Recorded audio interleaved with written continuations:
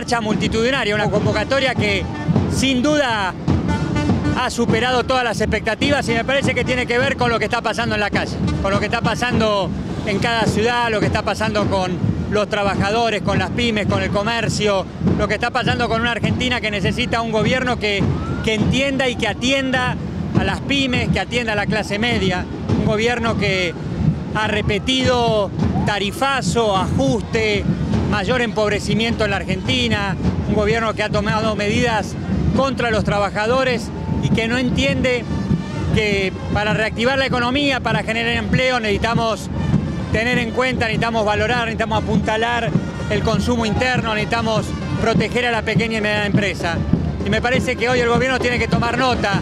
de que hay una parte muy importante de esta sociedad, esta Argentina, que está fuera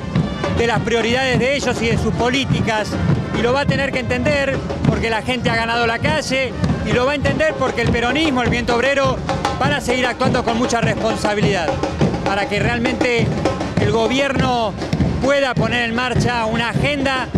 con las preocupaciones de la gente y no solamente equivocándose siempre para el mismo lado, no solamente este, inclinando la cancha siempre para el mismo arco.